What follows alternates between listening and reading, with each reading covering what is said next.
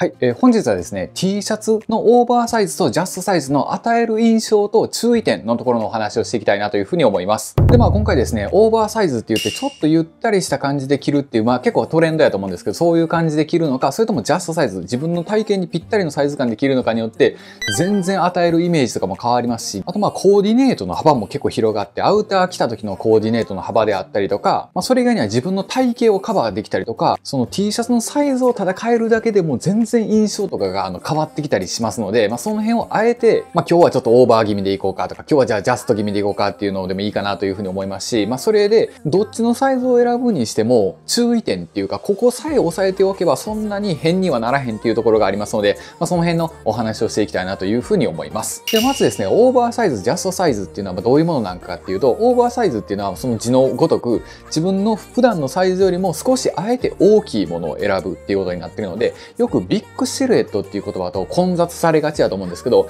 ビッグシルエットとはまた別物になってて、ビッグシルエットっていうのはあくまでもサイズそのものの規格が大きく作られてる。だから例えば僕やったら普段 M サイズか L サイズを着ることが多いんですけども、M サイズ、L サイズでも元々が大きく作られてるっていうのがビッグなシルエットっていうことになってて、逆にオーバーサイズっていうのは普通の規格、僕やったら M、L が普通なんですけども、それをあえて XL とか XXL とかで着るっていう、あえて大きくすることをオーバーサイズっていうことになってますので、まあ、今回はビッグシルエットのお話ではなくて、オーバーサイズ、あえて自分で大きいのを選びに行くっていうところの、まあ、注意点とかになるので、まあ、そのオーバーサイズに関してはですね、まあ、いいところっていうのが何個かあるので、そこをさっきお話していくんですけども、オーバーサイズに関しては、まず結構誰でも合わせれるってことになってて、ファッションとかがあんまりよくわからへん方とかでも、初心者の方でも、ちょっとサイズ感を上げるだけで合わせれたりとか、トレンドっぽくなったり、あとそれ以外には体型をカバーできる。だから例えばちょっと太ってたりとか、逆にちょっと細い人とかやったたら、あえて大きめを着ることで自分の体型っていうのがちょっとわからなくなるので、体型をカバーできるっていうメリットもあったりとか、まあそれ以外にやったら自分着てる自分がリラックスして着てるので、ジャストサイズでパツパツに着てるってわけじゃなくて、ゆったり着てるので、まあリラックス感が出てくるっていうことで、周りの人からしても、その気負ってないというか、張り切ってる感じはなくて、さらっと着てるけど、おしゃれな感じになるっていう、まあリラックス感が出たり、まああとそれ以外にはですね、あの、これ結構この方いらっしゃるんですけども、夏場とかが意外と、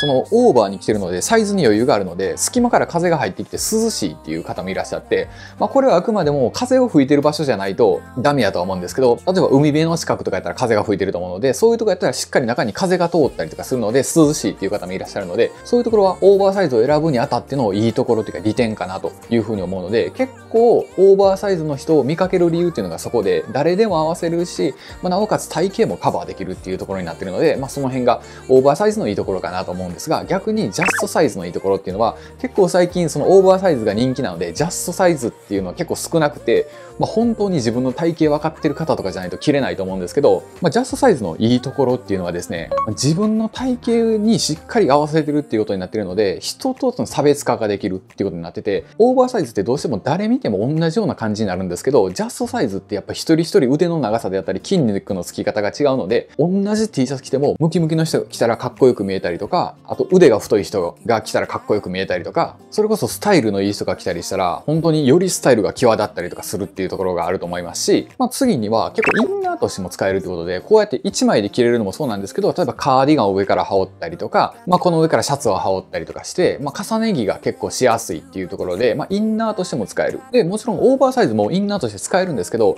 結構夏場はオーバーサイズ着るけど、冬はそんなにオーバーで着いひんっていう方結構いらっしゃって、あの、夏も冬もオーバーで着はる方やったら問題ないと思うんですけど、夏場だけなぜかオーバーサイズで、冬場はジャストサイズで着てるっていう方結構多いと思うので、まあ、そういう方は夏場のオーバーサイズの T シャツがなかなかインナーになりづらいっていうのはあると思うんですけど、まあ、普段から一貫してジャストサイズ着てはる方とかやったらもうそのまま夏はトップスのメインで冬場とか秋口はインナーとして着れるっていうので、まあ、ほんまに一年中着れるっていうところがいいところかなと思います。でその次にいいところっていうのがですねあのジャストで着てるっていうのは生地感が何でもいいっていうことになってるんですけど、まあ、これあのパッてイメージついてもらったら分かると思うんですけどこういう例えば、まあ、私服の T シャツっていうところもそうなんですけどそれ以外にも、例えばポリエステルが入ってる、ちょっとシャリシャリした感じの T シャツでも問題ないですし、あとそれこそちょっとウールっぽい感じの、あの大人なニットっぽい感じの、まあ、ジョンスメドレーとかであるようなそんな感じの T シャツとかでも全然あったりするので、ジャストサイズで着ておけば素材感が何であってもそれぞれしっかり決まるっていうところが良くてですね、やっぱりオーバーサイズはどうしても化学繊維のジムっぽい服とオーバーサイズってあんまり相性悪いので、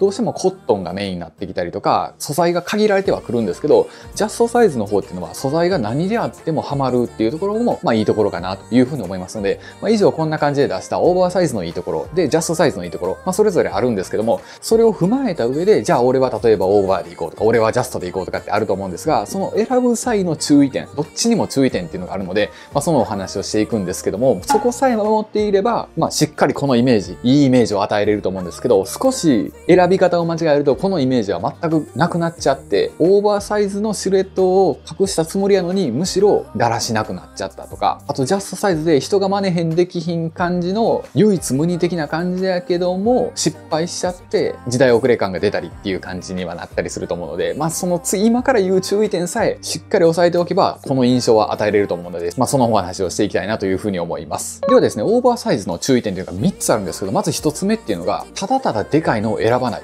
っていうことになってて、まあ、結構街中とかで見てたら自分のサイズよりちょっと上ぐらいのオーバーサイズの方もいらっしゃれば結構でかく着てんなっていう方もいらっしゃると思うので結構でかく着るとどうなるかっていうとパジャマみたいになってくるんですよね。で、それってパジャマみたいになる理由っていうのがどうしても着丈が長くなればなるほどパジャマ感が出て、まあこれ僕他の動画でも言ってるんですけど身幅が大きくなるのは全然問題ないんですがそれと同時に着丈も長くなるとどんどんパジャマ感が出てくるってことになってるのでもう結構オーバーサイズでめちゃくちゃでかいの着てはるモデルさんとかも中にはいらっしゃると思うんですけど、あれはモデルさんやから成り立つことであって、一般の普通の人のスタイルで、ただただでかい服を着たら、まあ、それは本当にパジャマになってるっていうことになってるので、まあ、あくまでファッションなんで、あの、自分の好きなように着るっていうのがいいと思うんですけど、先ほど言ったようないい印象っていうのは、なかなか与えづらくなっちゃうと思うので、サイズを選ぶ際は自分よりワンサイズ上、もしくは大きくても2サイズ上ぐらいで止めとかないと、2サイズまで行くと結構パジャマ感が出てくると思うので、まあ、僕は個人的にはワンサイズ上ぐらいがちょうどいいんじゃないかなというふうに思いますし、ちなみに僕がこうやって着てるのも、これがもともとボックスタイプっていう形になってるので、少しサイズを上げるだけでちょっとゆったりした感じが出るんですけど、まあ、これが L サイズなんですけど、1サイズぐらいやったらまだ上げれるとは思うんですけど、2サイズ上げて XXL まで上げちゃうと、多分ほんまにパジャマ感が出ると思うので、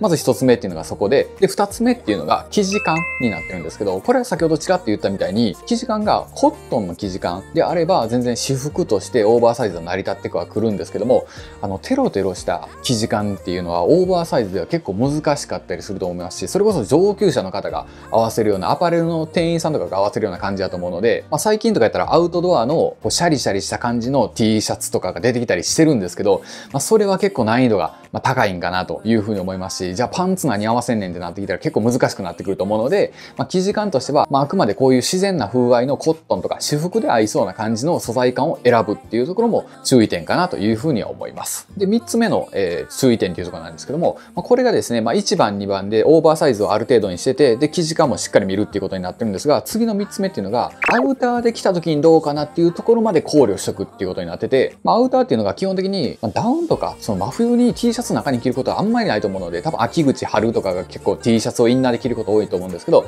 まあ、その秋口とか春に着る、例えばシャツであったり、カーディガンであったり、ライトアウターであったり、そういうのを着た時に丈感が合うのかなっていうのをちょっと意識しとくっていうところも、オーバーサイズを選ぶ上で結構重要なところかなというふうに思いますので、まあ、この以上3点をオーバーサイズの場合は注意すべきかなというふうに思います。で、逆にですね、ジャストサイズを選ぶ際の注意点っていうのはですね、これちょっと難しいんですけども、まあ、まず1つ目っていうのが上下のバランスを見るっていうことになってて、上はジャストサイズ、でも下はワイドパンツってなったら結構合わせづらかったり、まあ、それでもそういうスタイルもあったりはするんですけども、まあ、ちょっとその辺は様子見ながら合わせていかないとちょっと難しいと思うので、やっぱりジャストサイズが上に来ると下もジャストサイズっていうのが結構、ま定番になってきたりするんかなというふうに思うので、まあ、上下のバランスを見る。まあ、だから持ってる服が細身なのかどうかっていうところも大事かなというふうに思いまして、で、次っていうのが、まあ、これが一番大事かなと思うんですが、これが一番大事であり、一番の課題というか、一番のテーマっていう感じになってると思うので、まあ、それが何かっていうと、自分の体型に合ったサイズを選ぶっ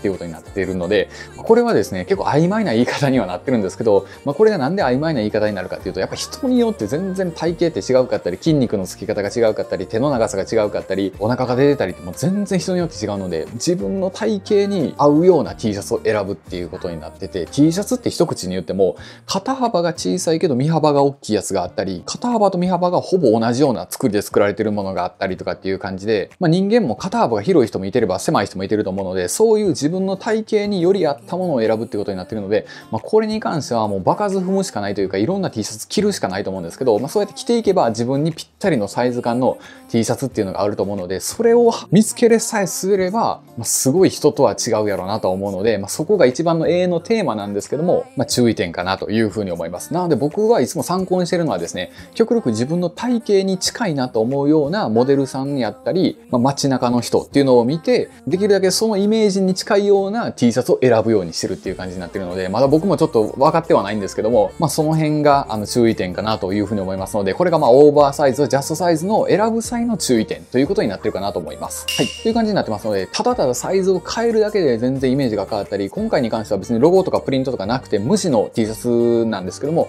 無地の T シャツでも袖が長いのか、肩が広いのか、のか身幅が大きいのか、着丈が長いのかで全然 T シャツイメージが変わったりすると思うので、まあ、どういう印象を与えたいかっていうのを置いて、それに自分が何を注意して選んでいけばいいんかっていうのが、まあちょっと参考になればなというふうに思いまして、まあ今回動画を撮ったという感じになってます。まあなので僕がサイズ選びで注意してるっていうのが、まあ以上お話ししたような感じになってますので、まあ人によってその注意点は違うと思うんですけど、まあこれが一応今回の動画ということになってます。ではですね、本日はですね、オーバーサイズとジャストサイズの T シャツの印象と選ぶ際の注意点というところのおお話をしてみました。ではまた別動画でお会いしましょう。ありがとうございました。